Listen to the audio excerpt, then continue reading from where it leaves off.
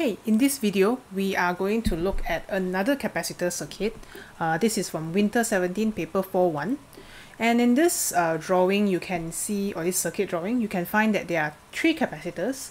P and Q have the capacitance C, connected in series with the battery of EMF 9 volt. Very nice. Okay, so, okay, also such and such. S is used, switch S is used to connect to the third capacitor T.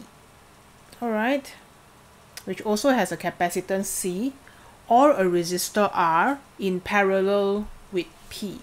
Alright, so we kind of like have quite a few components here. We have Q and P in series with the battery, T parallel to P, which is also parallel to a resistor, which you can change lah. So you can either choose to connect P parallel to T or P parallel to the resistor, either one. Okay. The switch is in position X. Alright, so that means it is in this current position. Calculate the combined capacitance in terms of C. Well, this one is fairly straightforward. If you look at this uh, drawing, the combined capacitance, let's say C total, you have a P and T that are in parallel, so we settle that one first. That would be C plus C. Because uh, P and T are parallel. Plus this one Q is in series. So this uh, 1 over C plus C plus 1 over C inverted. So just make sure you show some basic working lah alright? And here this one will look something like um, 1 over 2c plus 1 over c.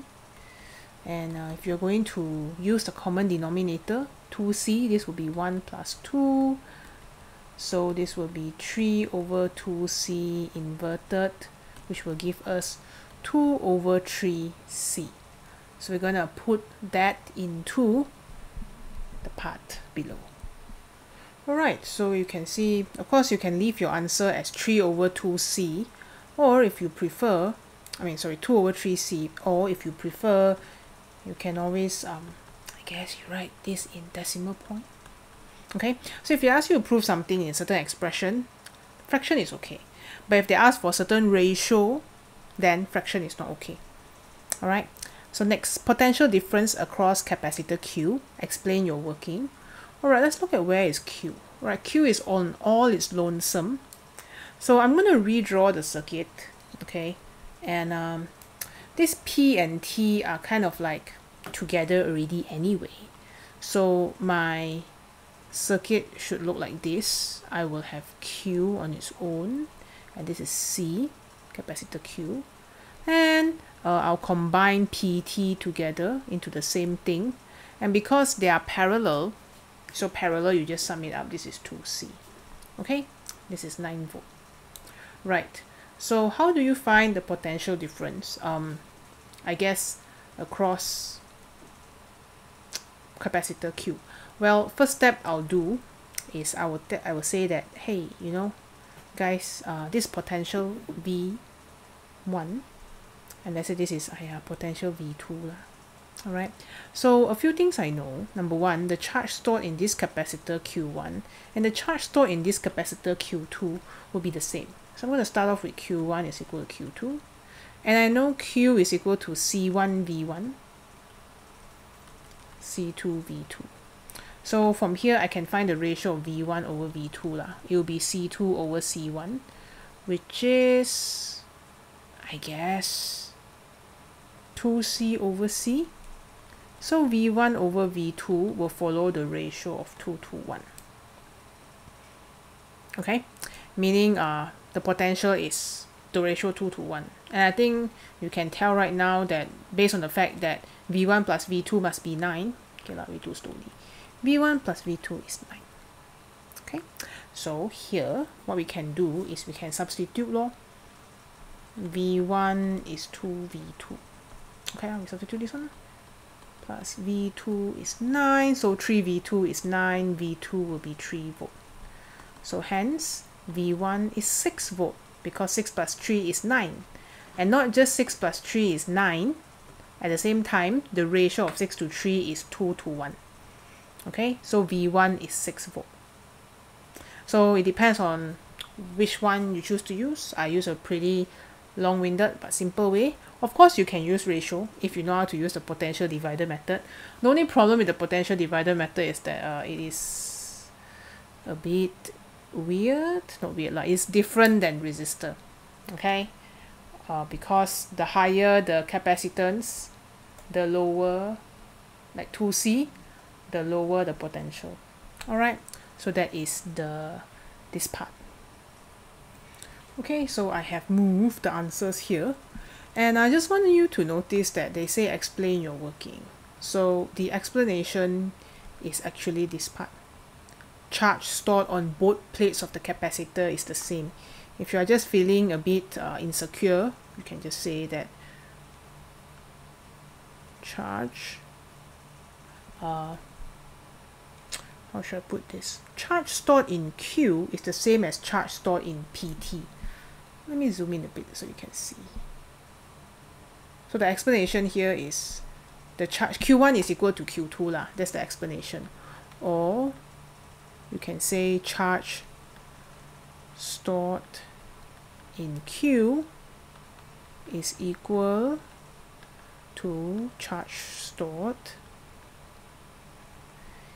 in the combination of PT. Alright, so the potential difference here is 6.0 uh, 2SF. Okay, next. Switch S is now moved to position Y. Alright, you can't tell me you didn't see this coming. Right. So we're going to move switch S to position Y as such. Okay, and then to make my life easy, I'm just going to crop this and put it down there. So we can have a civil discussion about what happens to this. Give me a sec. Alright, so now if you look at this circuit, we have quite a lot of information already. Yeah. Uh, for example, I know that the potential difference here is 6, calculated previously. Ma.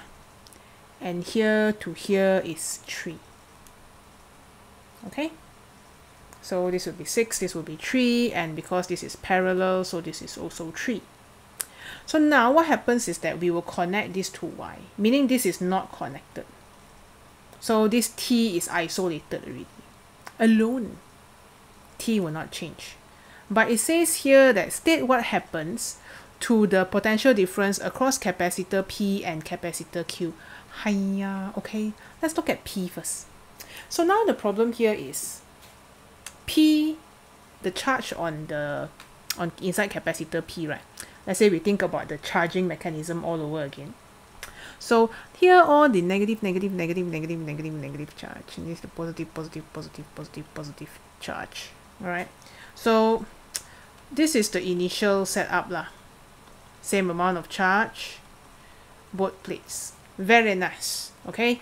But now the problem here is, once we close, okay, then, okay, sorry, not same amount of charge, uh, they will split into two. This one is slightly less.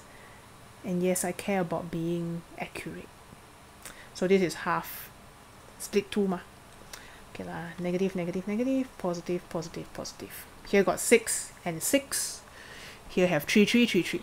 Okay, so when this is connected to Y, like this, these negative charges be like, hey, hey, hey.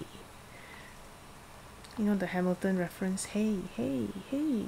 The negative charge on the capacitor, the bottom capacitor, I'm going to try to highlight, sorry, ah, one not very laggy already. So this negative will begin to say, yo, bro, we can go like this, passing through the resistor, though it slows it down a bit, but we can come over here to neutralize with these charges. Meaning capacitor P will discharge through the resistor R. So it starts off from 3 volt and decrease to 0. So this is why it's 4 marks lah, because they want you to compare. You see, uh, state what happens to the potential difference. They only want you to state, no need to explain. But if it's 4 marks, uh, you have to clearly say, you cannot just say decrease. You have enough information to say decrease from where to where. So you could say the potential difference, PD, decreases from 3.0 volt to 0 volt. So decreases is one mark. To 0 volt is the other mark. Okay? Means when they give us so many line For fun. Lah. But now I'm going to write the explanation, okay? So the reason why it decreases is because the capacitor P discharges via R because the switch is at position Y.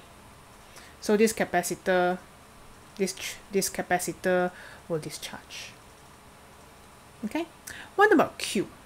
So this capacitor oh, started off, this branch is very happy. This, uh, this entire branch was very happy.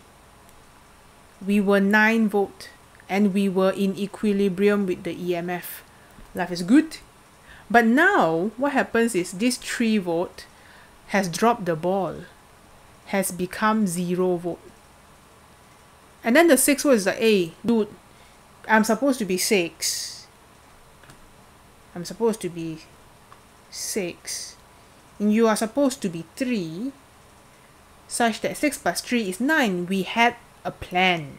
But you go and discharge, you go and discharge, and you abandon the plan, and now you are zero volt So this six volt must be like, Ayo, now I have to go and do all the work. I have to go and form an equilibrium alliance with the battery. Or in other words, the battery is also like, hey, we are supposed to be 9. Why are you only 6?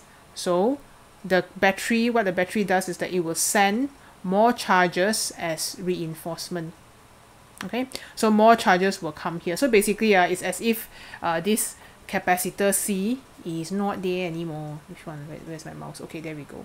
This capacitor C kind of like drop the ball. Okay? Capacitor C. Capacitor P. Let me highlight this P. Okay? So this capacitor P kind of like messes things up lah. So because capacitor P has become to zero, you have to maintain 9 ma. So capacitor Q will have to level up to 9. Alright, and the way it does it is it will send more charge or more charge will travel from the negative terminal of the battery. More charge will travel from the negative terminal of the battery. You might be thinking, Miss, wouldn't it need to pass pass P? Sure, it needs to pass P, but also at the same time, even if it doesn't pass P, right, uh, what will happen now is your P will just bypass all the charge. Okay, meaning P now becomes like a bridge. Or another way to look at it is P cannot be used anymore. Because whatever charge that is stored at P, sorry, computer lag, whatever charge that is stored at P, because of the resistor R, P can no longer store charge. You store one electron here, it will immediately run to the opposite plate and meet, a meet the positive charge. You store one electron here, it will immediately run to the opposite plate. So it becomes useless. This is 0 already. So this one must be 9. So the way it charges will be like this lah, if you are interested in knowing. The charge will travel. Okay, the charge will travel. Okay, it will travel from here. Okay, and think about the path. Is there any pathway that it can go so that it can reach capacitor Q? Can uh? pass through here. Why? Why did you change my pen? Excuse me. Pass through here, here, here, here. It's the same pathway, but no matter. Pass through here, here, here. So it will begin to store extra charge here. Extra to make Q charge in capacitor Q. Not charge lah, to make potential difference across capacitor Q. To make PD across Q to be Q. To be 9 volt. Alright, so just to recap, because my computer is laggy, so what I draw and what I write is not the same thing. Why? Why you do this? I can't even rub. This is such a sad, sad thing. Why you don't... What is wrong? Hello? Hmm. Hello? Okay, I'm going to pause myself to rub this. Right, so the idea here is initially they were sharing 6 and 3 6 and 3 to make up 9 when 3 volt when this capacitor P is no longer able to store charge 3 volt drops to 0 but this entire connection series connection must always be 9 the battery is like hey excuse me why do you drop to 0 hello? But capacitor P is like too bad I am now connected to the resistor and I can always discharge. So you cannot store any more charge in P. Meaning now we need to store more charge in Q such that we can make up to 9 volt. So you can see all the black arrows. The charge will now go towards Q. To add more charge, so this side will be induced. Okay, so extra charge to make the potential difference of Q to be 9 volt. Okay, which means uh, Q will go from 6 to 9. You might be also wondering, well, Miss, Q cannot discharge through R meh? Cannot? Look at it. How can the negative charge meet the positive charge? You might say, oh, the negative charge can flow through R. Dude, current or is a one-way circuit. So if the electrons came to this plate from R, the electrons cannot flow back to R. There's no black flow, back flow. Second problem, you might be thinking, now mind can we not go through P? Uh, same idea lor. The charge in P, look at the green arrow, flows in this direction. If you decide the electron to go here, you have to reverse against this black arrow. There's no way for this negative charge to meet the positive plate. Whereas for P, there's a very straightforward way for the negative charge here to go back and meet the positive plate. Alright, think about it.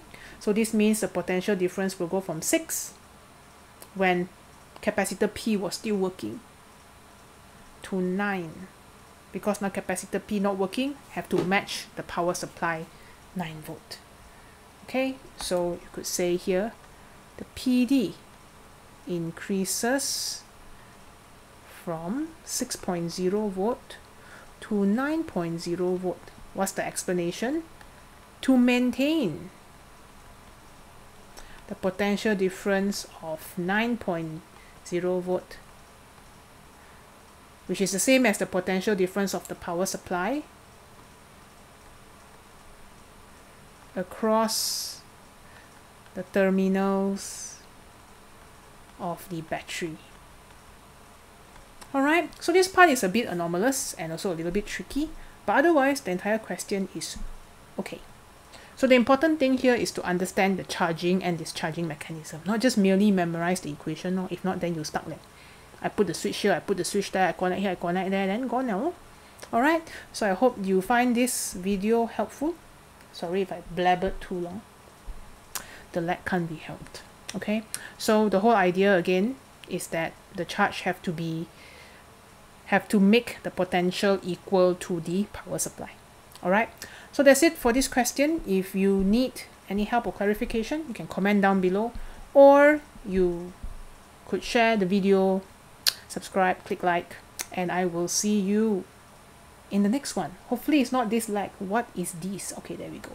Bye-bye.